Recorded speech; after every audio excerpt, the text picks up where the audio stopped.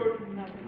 I'm very pleased to see you all here in this uh, splendid new room for uh, the first OTP guest lecture uh, ever in this uh, in our new housing.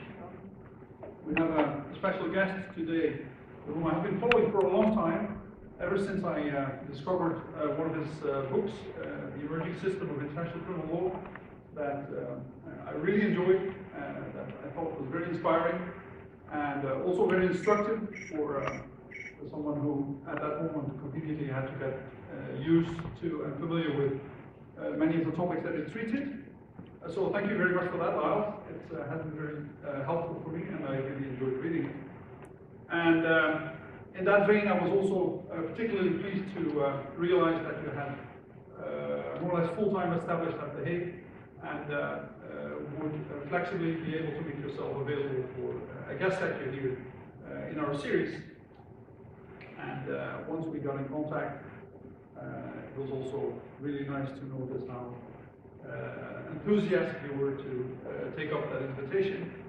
And upon a little bit of delay caused by the fact that when we first organized it, it had to be cancelled uh, because uh, in the last week of November, when it was originally foreseen, uh, there were no meeting rooms with chairs available anymore in the art building, and we didn't want to endeavor on a standing guest lecture, uh, so we decided to cancel and to postpone until uh, we had moved to the new premises.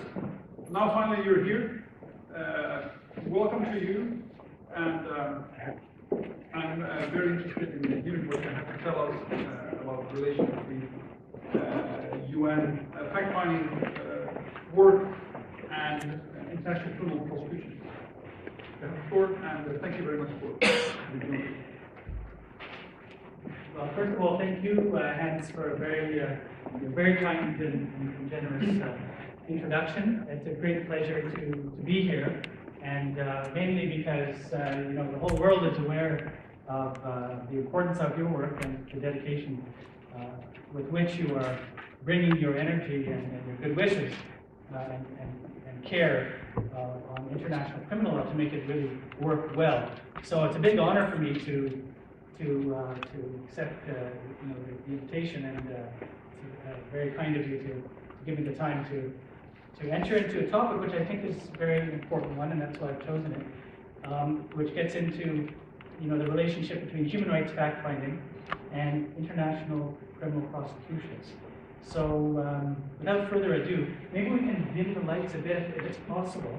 I think it's quite, it's quite visible, but it might help. You think it's okay? I don't want to. We, we still don't know. We don't. If, if it's easy to do, otherwise we, uh, otherwise not a problem. I, uh, No, I, I don't either. Well, it's quite visible in any case, right? So let's not uh, try to reinvent uh, things that we don't uh, necessarily have a handle on at this moment. So. All right. So, okay, and um, I will try to get through the, the, the whole thing, and we'll have time for for questions and discussion, uh, hopefully as much as possible at the end. So, so how can human rights fact-finding sharpen international criminal prosecutions? Uh, my basic uh, point today is that, uh, on the one hand, international criminal investigations, investigators, uh, should not reject, ignore, or undervalue uh, human rights fact-finding. Uh, I'll explain, you know, how that concerns him about a little later on. On the other hand, UN human rights fact-finders have to bear in mind the possibility of eventual international criminal investigation. But uh, of course, UN human rights fact-finding cannot substitute for international criminal investigation.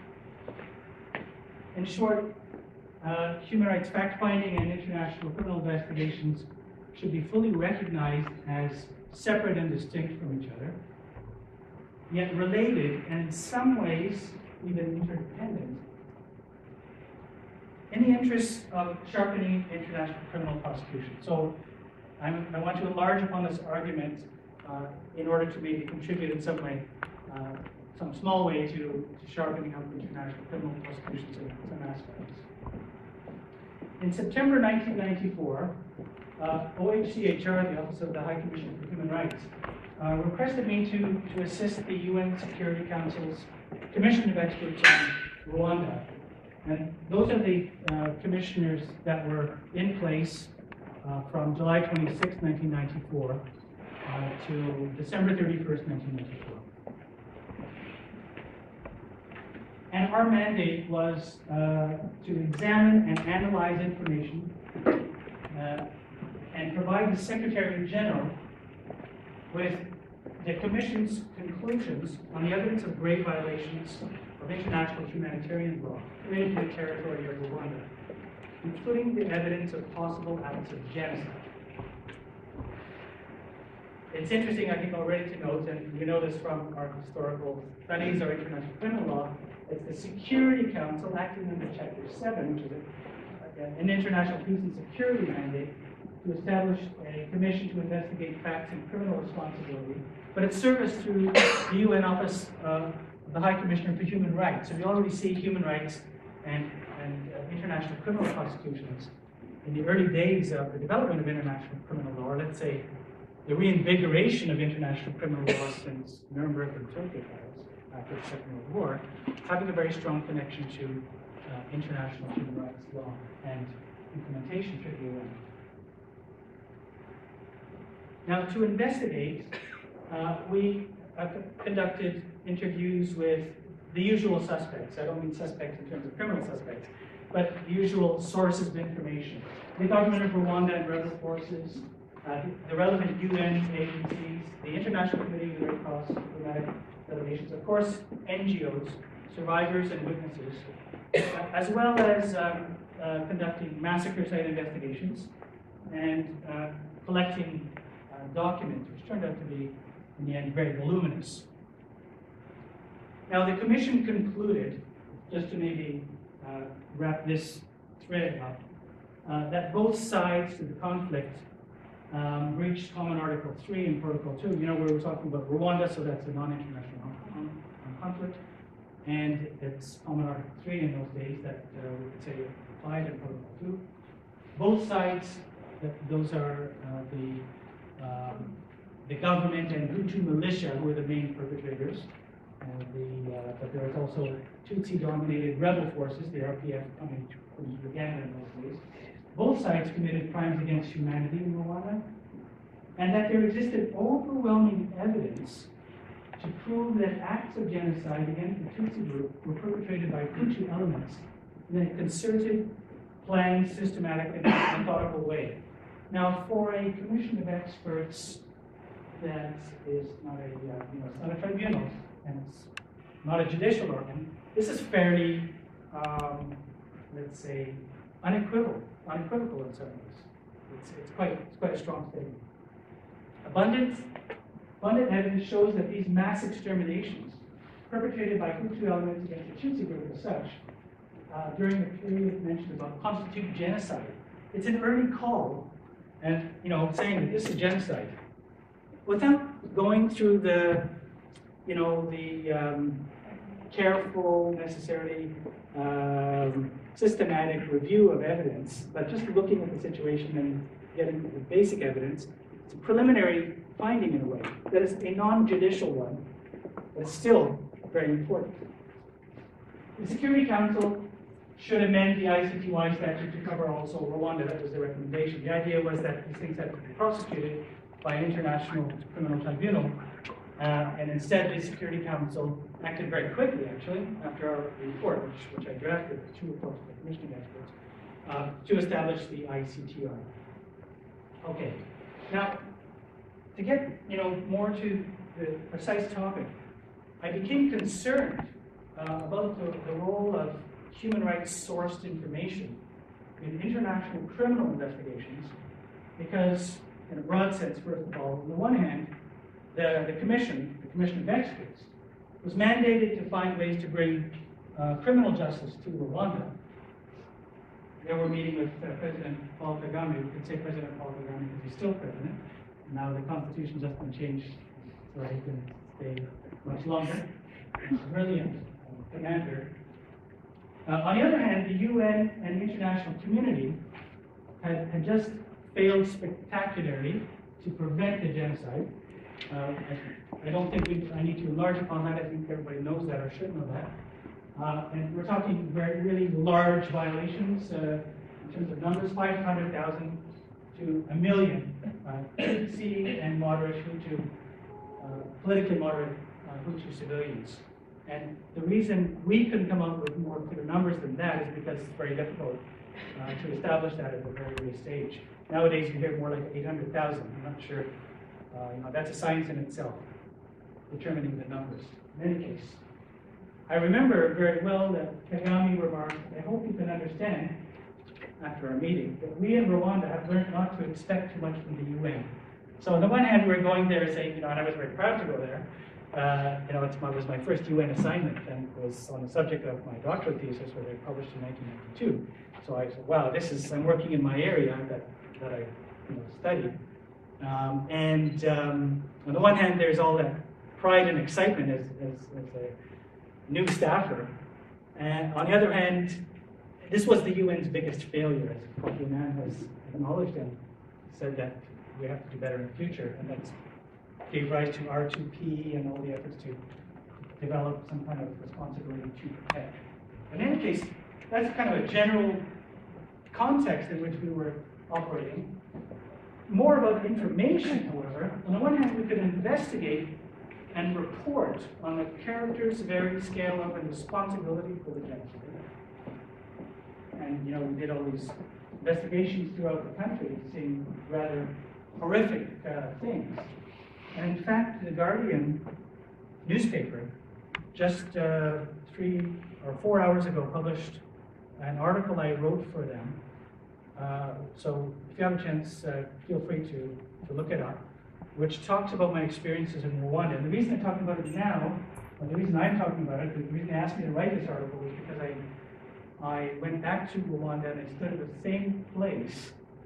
I was there on December 1st, where uh, in, in, a massacre site investigation where I was 21 years earlier, and before their old bodies, and it was a very horrific scene. And, and now it's it's cleaned up, it's sanitized, but it's now a massacre site museum. You know, it's a, it's a thing. So the Guardian just published that. Uh, it's online, uh, you know, three or four hours ago, if you're interested.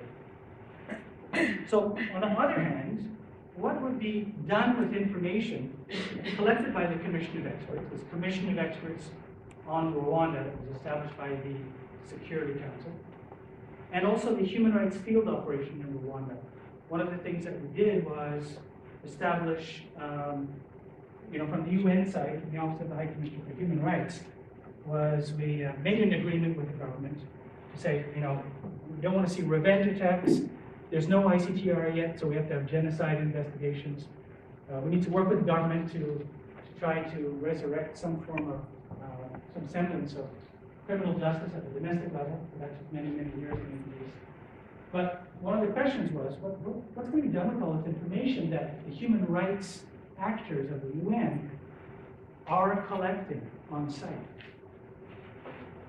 Will the ICTR prosecutor uh, draw upon the documents and testimonies of eyewitnesses uh, that we collected, uh, or, or, from the forensic examinations of massacre sites and mass graves, from the many interviews. And I remember, you know, standing there, it seems like yesterday to me, you know, 21 years ago, it seems like yesterday, you know, uh, standing there with all those bodies there and thinking, what you know, is, the, is what we're doing here, is this exercise going to make any difference? And what's going to happen with this information? What, what we are seeing and, and what we are sensing in those places, how is it going to funnel into justice? It was really, you know, plus I was supposed to be a, a, a you know, some kind of an expert, but even by then in those days, uh, already some expertise there. But I, that's a basic question. I had no clue what would be the answer to it. So that kind of bothered me quite a lot. And that was a practical question. How does, what, what's the relationship? It took many months for the ICTR to develop the most basic investigative capacity. Of course, you know, institutions take time to be built. Um, but when the ICTR was uh, formed, and we had, you know, uh, Judge Goldstone, uh, an excellent jurist, um, but they seemed wary of coordinating with the Commission of Experts. Uh, the UN Special Rapporteur on Rwanda, the UN Human Rights Field Operation, not to mention uh, the peacekeeping body and other UN bodies. Uh, probably because they, and they even expressed this a bit, they wanted to ensure quality control in fact-finding um, and to remain politically objective. The sense was, well, some of the UN organs are um, some, you know, they represent one or other section of the international community. There's political agendas, etc., which, which might be partially true in some way. I'm not sure. Um, like the ad hoc tribunals, the ICC has to control its investigation evidence gathering because obviously, as you guys know, uh, the prosecution must prove criminal responsibility beyond a reasonable doubt, and that's a very high, you know, a high burden. Perpetrators of core crimes uh, that, that are able to carry out these systematic violations on a wide, you know, widespread basis are often very adept at destroying evidence and concealing identities of perpetrators. That I think we all know as well.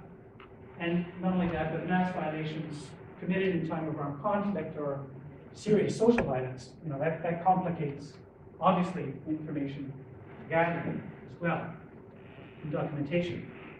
Finally, you know, one could think that uh, proving superior responsibility requires a lot of um, effort and, and, and sources of information to establish formal and informal linkages uh, in the chain of command. And those linkages can be very complex and, and uh, opaque and, and, very fluid because they change over time. Know, what is the person's relation of uh, command hierarchy? Not only that, but the ICC cannot be everywhere at once for resource, logistical, and security limitations. Uh, these are some of our investigations. It's all infants slaughtered, slaughtered in a row. I remember standing there. Um, so the ICC has to gather not only first-hand testimonies and eyewitness accounts, but also does have to gather information from the UN and our regional organizations and NGOs operating in affected areas. And those human NGOs are often, or mainly, usually, human rights and humanitarian NGOs. They're, they are the first ones on the scene. You know, criminal investigators may take a long time to show up, if they ever do show up, for all sorts of reasons. UN human rights fact-finding differs from ICC fact-finding because human rights fact-finding relates mainly to the responsibility of the state. Uh, rebel movements, where they succeed in forming the government, you know, under international law, and not individual criminal responsibility, even as regards serious violations. Um, it also focuses mainly on human rights situation, situation as a whole, rather than on individual cases, except with regard to illustrating patterns and trends. Even where it's dealing with individual communications, the purpose, big thrust, is to hold the state responsible. That's really the main thrust of international human rights law and implementation. Uh, and to pressure governments, or maybe the territorial authority and effective control, to abide by their obligations and ensure that victims receive redress for violations, prevent future violations. Okay, those two points are obviously very similar or overlap to goals of international community. But the point is that human rights fact-finding is mainly focused on establishing international, wrongful acts of the state, state responsibility. In contrast, international criminal uh, fact-finding or investigation relates mainly to the relevant statute mandate, obviously, if it's an ad hoc tribunal or the ICC, their own statute, focuses on individual criminal responsibility rather than state responsibility. But it has to take account of the position of the individual within a formal or actual state hierarchy as well as the existence of state policy.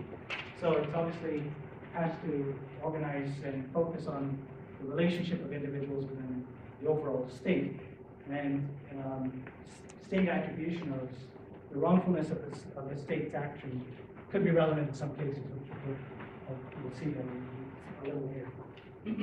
Moreover, they differ as regards burden of proof. international criminal trials, beyond a reasonable doubt, in line with fair trial standards. Um, But in non-criminal cases on state responsibility, the International Court of Justice requires something less than that. Maybe proof at a high level of certainty appropriate to the seriousness of the allegation. We get that from the ICJ judgment in genocide case. Non-criminal cases involving state responsibility for an ordinary wrong uh, might be proven on a balance of probabilities. It's even a lower standard. You know, it's more likely than not that this happened. It's a much different um, burden of proof to prove your case. Special procedural requirements in criminal trials. Uh, as you well know, ICC trials have to apply higher admissibility standards of evidence to preserve the presumption of innocence of the accused and ensure a fair trial.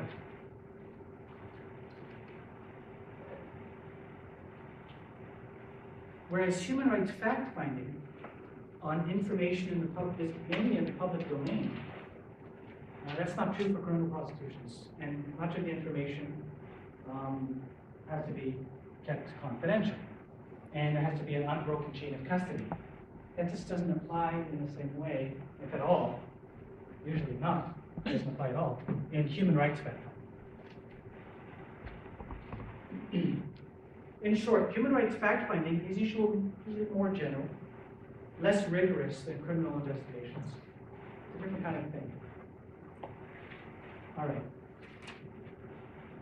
Now, the, the fact that human rights fact-finding is more general, less precise, and less burdened by strict procedural requirements than prosecutions sometimes has led uh, international criminal investigators or prosecutors to say, what is the value of this stuff to get from Human Rights Watch, UN Human Rights Council, the Special Rapporteur?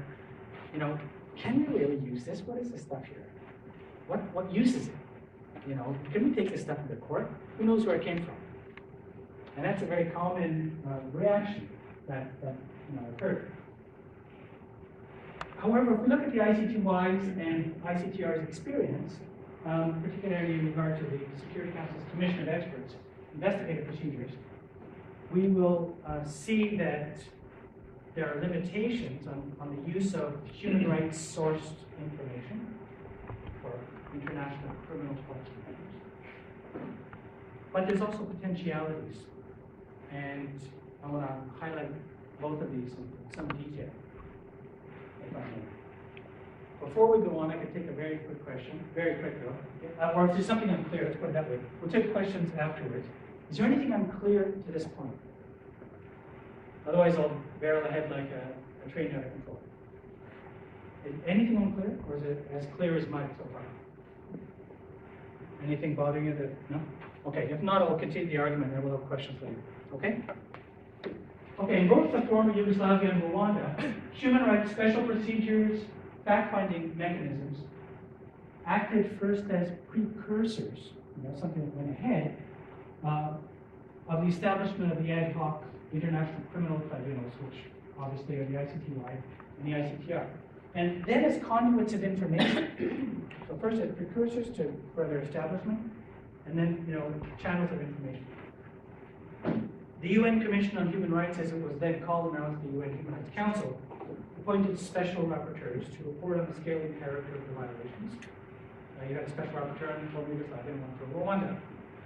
And those reports from those individuals uh, helped to establish that violations were so serious and they should be considered as crimes under international law and prosecuted internationally because of the domestic unwillingness to prosecute or inability. So um, those, the establishment of the ad hoc tribunals would not have gone very far without this kind of pathway from human rights. Security Council Commission of Experts were based on Chapter 7, as as I've said, to investigate individual crimes. Later on, more recently, and I'll uh, recall this a little bit later, Human Rights, the Human Rights Council has created commissions of inquiry that are mandated to look into possible commission of core crimes. All right. So these commissions of experts, which were supported by the uh, UN Center for Human Rights, coordinated with Human Rights Field Presence to, to do these things. I'll just skip over this very quickly. Basically, investigation, uh, continue investigations, do monitoring, provide technical cooperation. Here's what I want to get into, which is really some of the meat of this.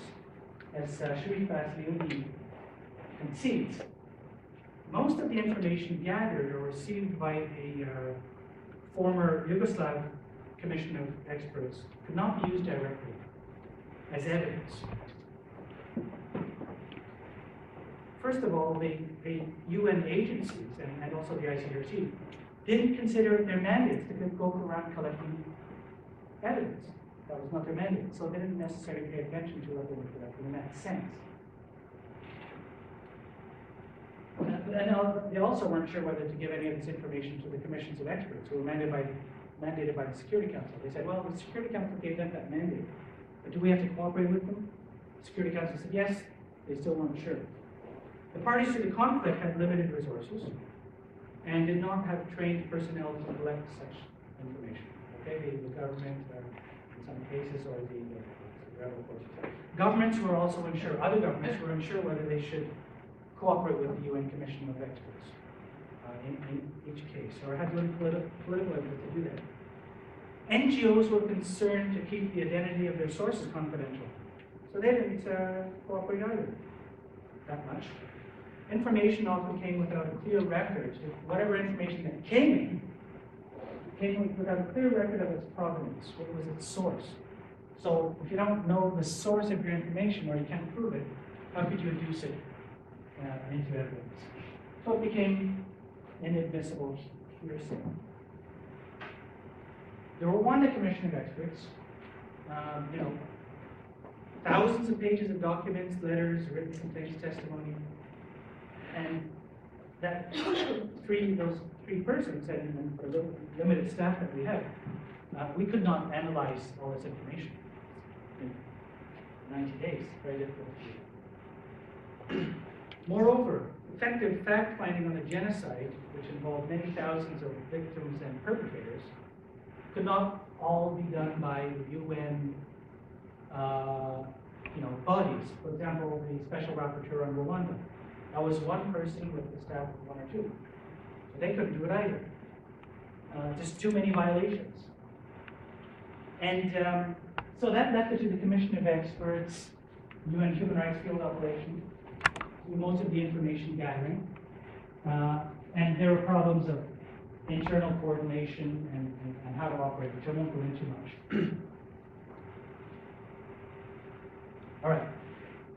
So the point I'm making here is that the ICTY and ICTR experience shows that it was clearly unrealistic to expect human rights information to be used as evidence directly in international prosecutions. So UN, uh, let's say UN bodies, that are human rights bodies or human rights NGOs, can't just take the information that they have, which is often very relevant or pertinent in terms of the substance, and then you turn it into evidence because it's not properly sourced. Uh, if you can't trace the, the deponent of the, of the uh, that gave the information and uh, get the witness back, cross-examine cross-examination, etc. So it's information you can use somehow, but not directly in that sense. For, for, I just said this, individual witnesses could not be identified or be traced. People didn't take down the information uh, know, thoroughly because they weren't thinking of criminal prosecutions. Databases and archive, archiving were hardly computerized. I showed no style computer, and that's almost what we had in the Center for Human Rights in 1994. Um, there were three computers, and I got one because of the urgency of this thing. There were two others. Um, but human rights sources are critical to ascertain which situations around the globe might call for preliminary criminal investigation. Because the ICC, on the other hand, cannot on its own monitor the entire globe for, for serious violations. It's difficult to do that. It's complex, you know, planet with um, very complex situations and a lot of human rights violations so many countries. Um, So human rights sources also help to establish trends and patterns in violations, you know, over time, monitoring, investigation, reporting from human rights side, to establish also whether there were uh, widespread or systematic attacks. Human rights NGOs, for example, and, and UN and uh, domestic and regional human rights bodies do this very well. They actually detect uh, patterns and trends quite well um, and, and see whether they're widespread or systematic. And that could be very obviously important for the crimes against humanity threshold in the Rome Statute.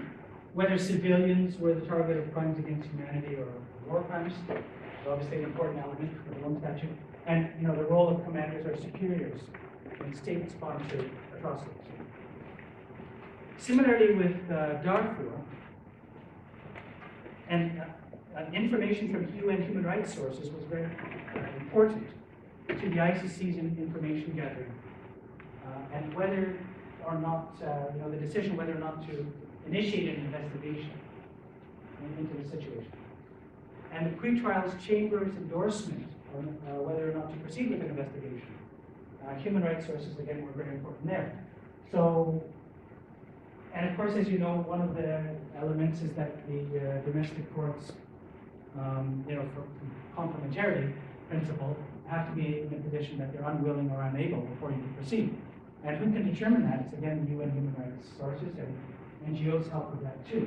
You know, the independence of the judiciary, the, there are mandates on that from the UN Human Rights Council, uh, and to look at the, the history of, of uh, the conduct of the judiciary. The ICC will normally not do that for, for all countries, but the UN Human Rights Council, it's watching the, the globe uh, because of the Universal Periodic Review, special procedures mandates, UN treaty bodies that, that, that exist in Geneva. So there are all these sources of information. UN special investigative procedures help pave the way for ICC prosecutions. And there have been a lot of these with regard to Darfur. And, um, you know, the uh, International Commission of Inquiry, for my liking, is maybe one of the best, it's, you know, one of the best done reports from the Security Council mandated human side about, uh, you know, this kind of things that went on in Darfur, run by, um, headed by Antonio Cassese. And they, they even sent a list of likely suspects in a sealed file to the Sec- Sec- Secretary General and to um, the High Commissioner for Human Rights. But there are all sorts of other mechanisms out there. Human Rights Council's high-level mission on the human rights situation in Darfur, and um, that determined whether the Sudanese courts were unable or unwilling to pursue justice over that attacks. Obviously, that's important for um, proceeding to the ICC. There's a council and Human Rights Council and Security Council. In, in December 2007, uh, there was a whole group of experts on Darfur. I was the coordinator for that body. Uh, and it documented ongoing serious violations in its final report. Once the security situation had driven many NGOs out of Darfur, um, everybody had to rely more on information from the government of Sudan itself, the human rights components of the African Union and and peacekeeping, and other UN agencies bodies and programs in the field. So the point is that um, whereas the ICTY and ICTR and ICTY prosecutor, prosecutors initially may not have trusted the integrity and probative value of basic human rights information gathered by various uh, other human, uh, UN sources. In Sudan, it's a little bit different situation because the government wouldn't cooperate with the ICC. If anything, it opposed it. That obliged the prosecutor to rely more heavily on UN fact-finding mechanisms from the human rights side, the ICRC and NGOs and witnesses with the country. Couldn't really do much in situ. I think we all know that. Thus, the, these international responses from these examples um, show that, you know, let's say they shed some light or give some le- uh, lessons on the relationship between human rights and ICC, uh, you know, investigations. First, human rights investigators in Rwanda did not fully appreciate what kind of information would be useful for criminal investigators, or how to obtain it, how to preserve its integrity. Chain of evidence, chain of custody. Um, one of my colleagues gave an example that sticks in my mind. He said, you know, human rights people sometimes say, well, there's, there's a missile, you know? Let's take a photo of it. There's a missile there. So they take a photo of it, and uh, there it is, and they say, this is what, this is what happened. And people say, well, okay, criminal investigators will say, why don't you put a compass and a ruler so we know what is the caliber and, and check it out and take a closer picture as well. And, and the direction is important. Was coming from the rebel side was coming from the government side? Without that, what's the use? It's a piece of metal. And, you know, it's, it's not that important. In Darfur, rather more reliance on human rights sources rather than on uh, criminal, traditional criminal investigation sources. Okay. The Human Rights Council investigations into situations have become more, not less frequent. So criminal, you know, kind of criminal investigations style, criminal style investigations um, are being done more by the UN Human Rights Council than they have done in the past, not less, even though we have the ICC. And if you don't believe it, let's look at the examples. We have the Gaza conflict, fact-finding mission. We have Commission of Inquiry in Cote d'Ivoire. We have the International Commission of Inquiry on Libya. And we have the UN Human Rights Council's investigations on Syria. On the other hand, you know, there haven't been too many more after that. Uh, I haven't checked in, there's a few more perhaps, but maybe that was a, an aberration, but that's still a, a lot, quite a few, which concern themselves not just with traditional human rights, you know, state responsibility, but also which individuals, commanders, government, ministers, uh, individuals on, you know, on the ground who are you know, shooting civilians are responsible, and even compiling lists, etc. Okay. Fortunately, I would say, UN human rights fact-finding and international criminal investigations, uh, these two you know, different kinds of investigations, of fact-finding, they're, they're showing signs of uh, rapprochement. In the sense that human rights council mandate holders and OHCHR staff today, uh, I would say, recognize much more than they have in the past that their findings could figure possibly as evidence in international criminal prosecutions. So they have to be more precise and have to guard chain of custody. Because there's a, there's a chance that some of the information that they're getting could be eventually, uh, possibly, adduced as, evidence. On the other side, the ICC has explicitly recognized the value of UN human rights fact finding.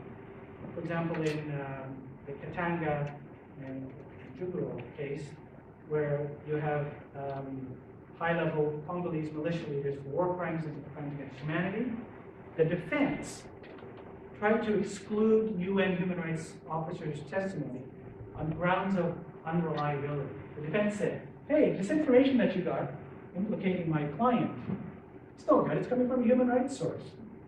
Ha ha.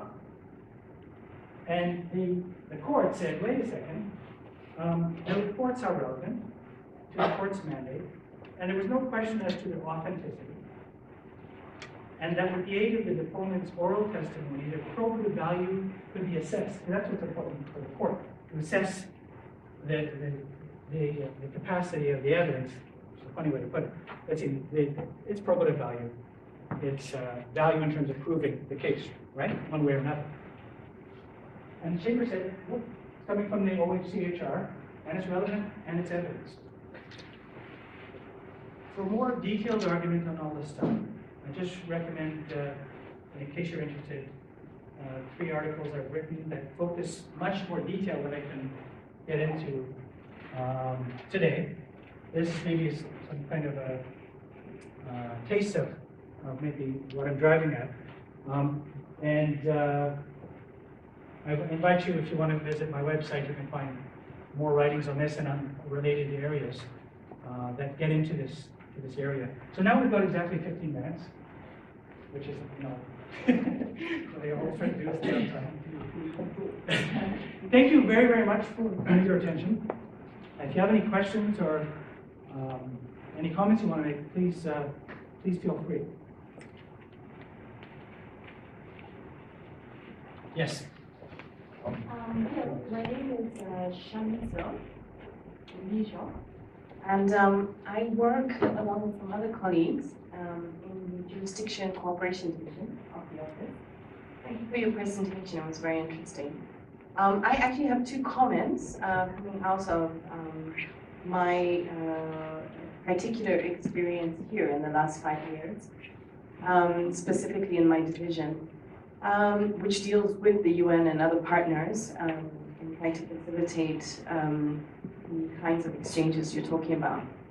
Um, one comment, um, which is a general comment, is that um, I think one of the concerns that I have, and I'm not sure how it can be addressed, is that in certain instances when you have UN endorsed, or perhaps not even UN endorsed, um, but independent um, uh, commissions of inquiry um, uh, that, as you say, are uh, first responders and are the first people to get to a particular place where there is a conflict, um, and then to gather information. Um, but as you point out, analyze that information um, from a lower, with, with, a, with a lower threshold than we would ourselves. Um, my concern is that sometimes those commissions of inquiry, notwithstanding the lower burden um, by which they are um, receiving, uh, weighing information, will still come to a conclusion. Um, so I'm thinking here specifically about Guatemala and the commission there, concluding that genocide happened. And my concern is that um, that creates expectations amongst the victim population, which then becomes very difficult for um, ICC because people can't always distinguish um, between um, our juridical finding of whether or not there's genocide, Which is much higher than the one that's. which is much higher, Common parlance. yes, for sure. than a commission Yeah. coming and saying, we believe genocide happened here. Um, so, so one issue um, that I have with um, commissions of inquiry taking on more and more um, sort of forensic um, analysis of what is happening and coming to conclusions about crimes occurring is that it creates expectations um, that um, may make it more difficult for um, the ICC to explain what we're doing when we come and then struggle um, to necessarily meet all the, the, the, the elements of a particular crime, Yeah. but people in that place believe the crime happened. Yeah, And, right. and this Yeah. applies to crimes against humanity as well. Sure, I, I'd have something to say about that. so. Did you have another concern, or was that? just- That's one comment. Okay, Um, and then the other comment, um, which is also about perceptions, is that um, uh, I've also found that um, sometimes it's a, it's a liability as well. On the one hand, it's obviously very useful for the office to have as much information from as many sources as possible. Whether it's a Human Rights Watch report on what's happening in Libya, um, in particular in areas where we may not have access, or it's um, Philip Alston's report on extrajudicial killings in Kenya yeah, uh, before the ICC got involved, and I actually worked for Philip. Um, I was his research assistant for two years when he was um, he's a great guy, I know. he's a wonderful person in his capacity as UN Special Rapporteur on extrajudicial killings. Okay. But whatever the case, we often find great value in all these reports from Cote d'Ivoire Commission of Inquiry, etc. However, one um, liability is that for the affected population, um, I think it's easier for a particular party to discredit a report of a commission of inquiry, a party in the conflict. Um, one of the difficulties we find coming into these situations afterwards is that um, there's often the perception that the ICC is simply building on the prior report, which was flawed. Right, So, for example, in Cote d'Ivoire, people think the UN was a party to this conflict, so the Commission of Inquiry is tainted, and the ICC is just an extension of this foreign intervention um, that is party to the conflict. All people's problems with Cassese's report, sure. and then it's very difficult for us to say, actually, we're neutral, we're independent, we're doing investigations, from scratch, because there's this perception that the ICC is simply building on what the UN did. Right, okay. Could I comment on both of those? Yes, please. Those are excellent questions, and, um, you know, I agree with much of what you said in both of them. I would say that um, it's incumbent upon uh, the commissions of experts that are formed, that are established, therefore to use these terms rather carefully. And in the case of Rwanda, we said that there's, there, there's overwhelming evidence to prove. And that's why I put the, the quote up there. And sure, that creates expectations. But on the other hand, you're sitting there with a lot of evidence, and you need to get the process going in those cases. Uh, without making any judicial finding. And I don't think anybody had a, uh, had the, uh, you know, the illusion that we were a judicial body. Nobody in the field considered us such. They knew we were doing preliminary work. So, um, but I, I, your, your point is very well taken, and that is that um, commissioners have to be, uh, in the- these commission of experts, uh, have to be very careful uh, not to raise expectations to, to box in later bodies, especially, you know, the ICC. So there is, there is a danger there. I would rather see more information out than, uh, than less. Uh, and you don't have a lot of choice in the sense that these bodies are easily and quickly deployed, and often we need, practically speaking, we can't wait for uh, two or three years to see whether the ICC or, or an ad hoc tribunal might be able to, to uh, be deployed because you know, evidence will be lost and political will moves on, etc. So you need something, but you have to have it. You have to have this uh, concern of yours, which I think, I think we should all share. This is correct. Not to make um, ironclad or uh, determinations, knowing that it's not a judicial body and it hasn't gone through. You know, the the standards I think everybody knows for the Genocide Convention are very high, and to prove it, it's, it's difficult. I think that's why um, Antonio Cassese uh, wouldn't use what when looking at the situation in Darfur and from what I do and having coordinated, you know, a body in, uh, in the UN on Darfur, um, I think there was a lot of evidence to show that it was, uh, you know, a, a, a good case could be made, strong case for genocide. And he's right till the end would never uh, concede that it was genocide or say that it was. And I think he, I don't want to criticize him, because I think he did an excellent report. I think one of the best reports.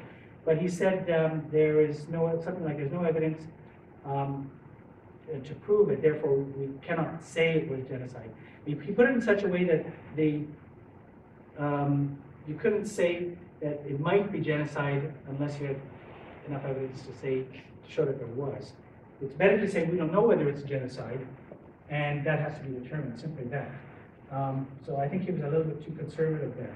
But, and your second concern was the um, Cote d'Ivoire, et cetera. There, I don't have an easy answer because I think you you made a really excellent argument there that the UN was seen as some, in some way allied, uh, for good reasons, with one side or the other, and we know that. And, um, but, you know, the ICC and, and the public itself, that's also very evident, I think. People don't confuse uh, the UN that being a judicial body of some sort.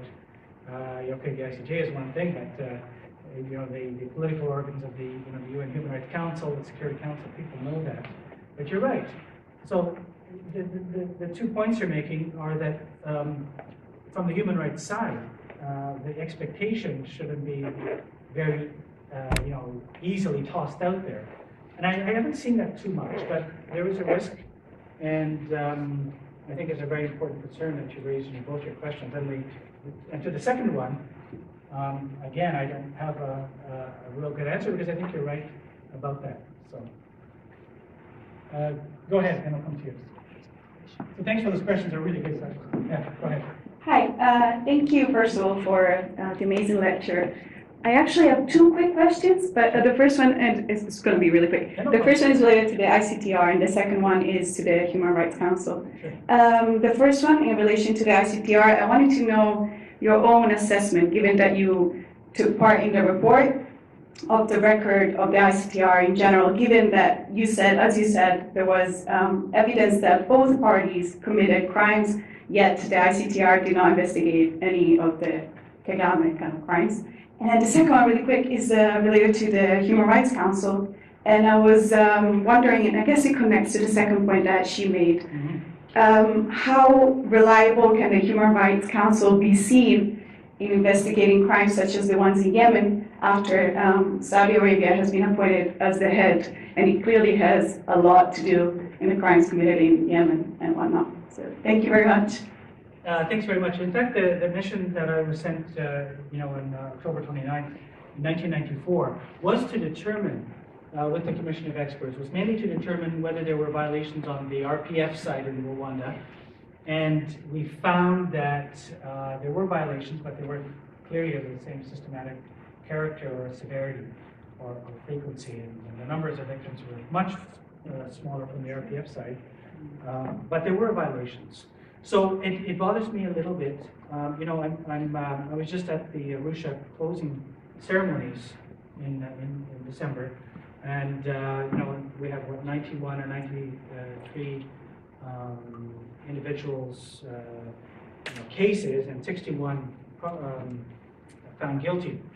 Um, first of all, for me, that's a very small number when you compare it to the thousands of perpetrators. So, but at least they're symbolic, and it's, it's also a high, higher number than we've seen in Nuremberg and Tokyo.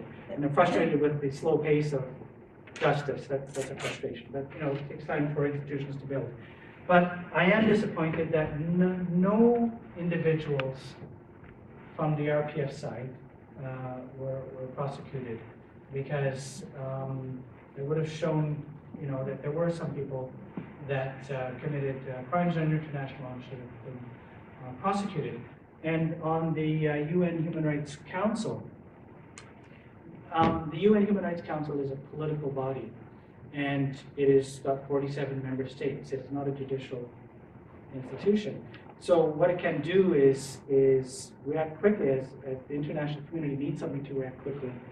Um, you know, to to get a, a- to reckon with the situation, but um, be rather discreet in some ways and not make too many pronouncements.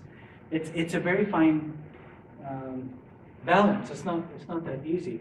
And you know, when you look at the Commission of Inquiry on Syria uh, under Sergio Pinheiro, who's an excellent human rights um, personality. I mean, he, he's a little bit locked. This is my personal opinion, but he's a little bit locked into a difficult pattern because it's difficult uh, to possible to gain access to Syria for security conditions. And um, so the the reports are starting to repeat themselves. I think we're up to the 12th or 13th or 14th. And they're finding that, that, that these violations were committed and these violations were committed and et cetera, and that, uh, you know, um, these are crimes under international law, very likely, but there's not much more that can be done at that stage.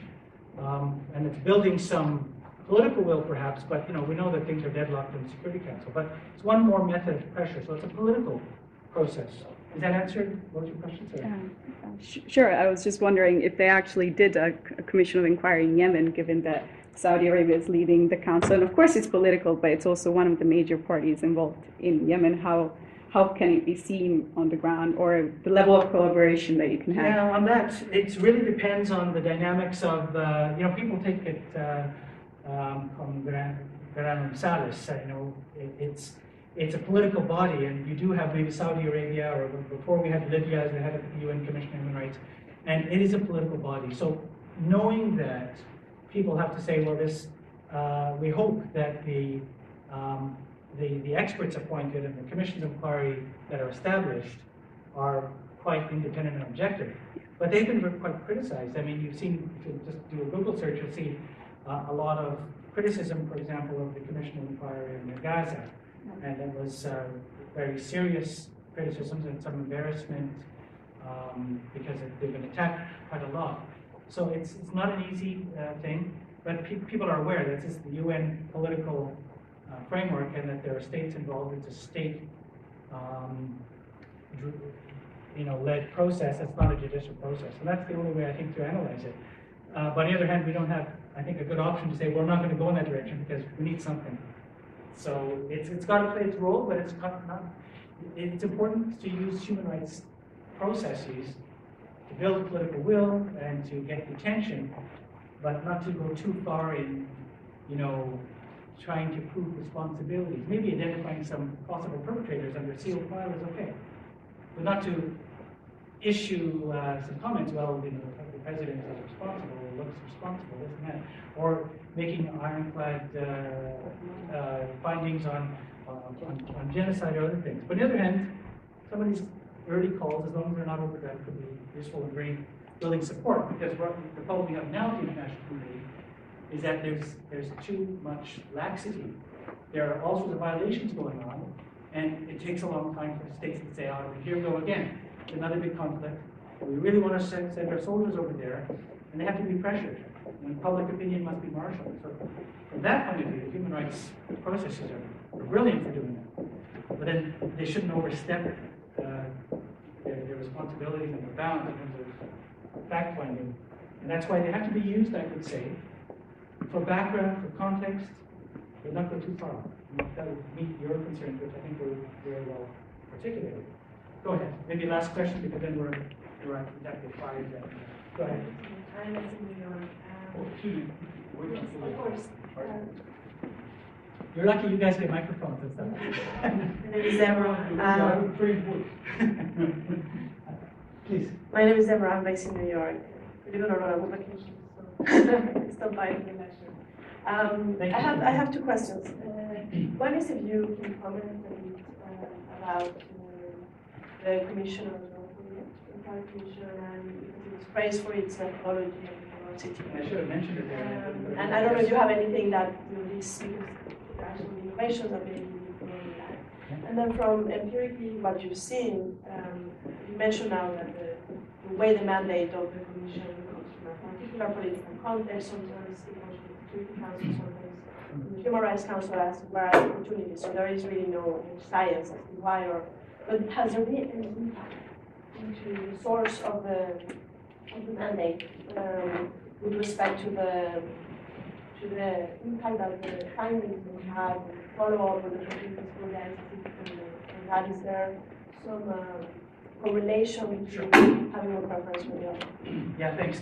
Uh, on DPRK, the, um, I think the, uh, and I haven't followed extremely carefully, but what, from what I've seen, the methodology has been what, what could be done. I mean, uh, you know, my, my colleague Vitit Muntarbhorn, who was on it, and, and it was who was leading it, um, their, their, their, uh, procedure was to, you know, get a hold of people as they were crossing the border and to interview them, that was one of the main ones. In addition to the traditional, uh, you know, fact-finding things, I mean, you know, through organizations, through contacts. But actually waiting at the border, I mean, you know, they had some organizations to help with that, and getting people um, with their stories, I think was quite innovative, although that was done also in, uh, with regard to, uh, the UN Human Rights Office has done that for a long time. They've often gone around the border. For example, in Syria, going around Turkey. And, and in the time of Saddam Hussein, it was around uh, the borders uh, to, to interview people. And, and refugees and refugee councils. And I remember on Iran, I was working on Iran for a while. We, we interviewed, uh, you know, the gov- so-called exile governments and, and, this and that. So interviewing people outside, and the same thing has had to be done for uh, Darfur and some other places. Um, so, you know, it's um, it's interesting to see also the the tenor of uh, you know of that commission has been very strong and vocal. Uh, and that's another working method to try to build some uh, some some will there. Um, but I won't say much more on DP, DPRK on, on the commission required there. What I could say on on uh, the relationship between you know these commissions of experts from the Security Council or commissions of experts and or, and or inquiry from the Human Rights Council side, what is the feedback loop is what you're really asking. And it's an important one because these are mandated to report back and then to, on that basis of the report, to do something. And so it's a very clear uh, linkage to say, well, look, uh, now you've gone to Rwanda and you've, you've uh, gone through, you know, massacre sites and, and you've seen what, and you've gathered evidence, you've talked to people from a very wide, uh, comprehensive array of sources. You can say that there seems to be, you know, a case to make. And, you know, in the case of, of Rwanda, genocide from one party and crimes against humanity, and uh, common 3 violations on both sides. And that could help the international community say, yeah, in this case, we really need an ad hoc tribunal, and that's why on November 8th, uh, 1994, the Security Council acted very, very quickly after that.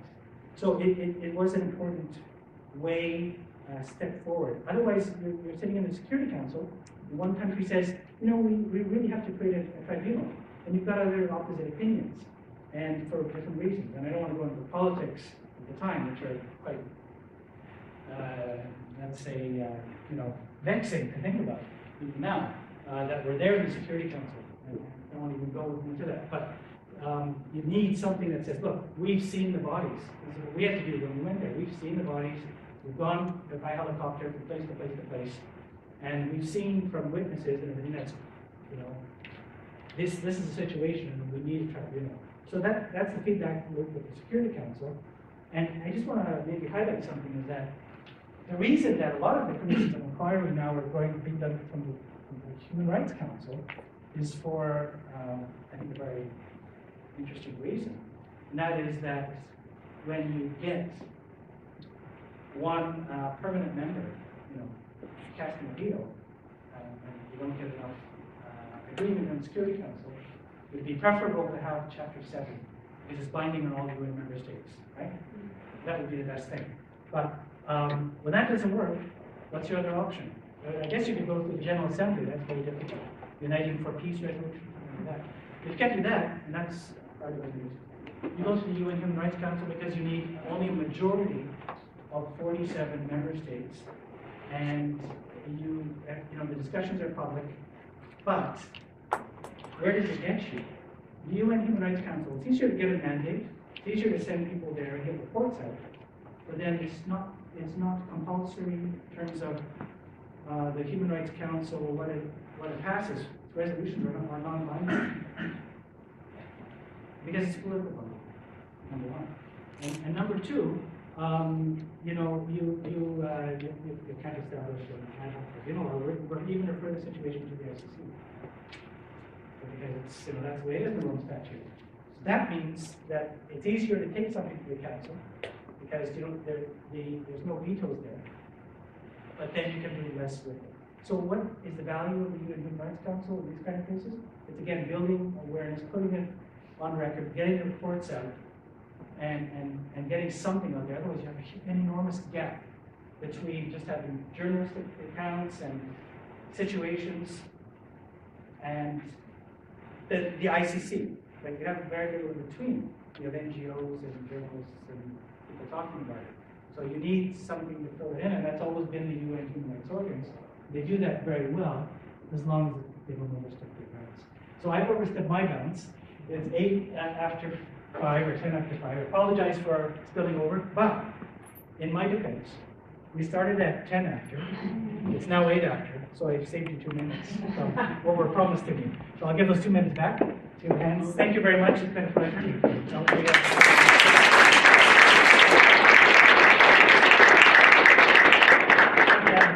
Thank you very much, uh, Lyal. It was uh, really, really interesting, great presentation with uh, some impressive uh, illustrations, I must say. Uh, I think we can see from the questions that it was also very inspiring, and uh, I have no doubt that if we had more time, if we had had more time, there would have been plenty more questions, which uh, in the end will probably only be a guarantee that uh, discussions uh, of this nature will continue. And I'm looking forward to that. Thank you very much. Thank you very much.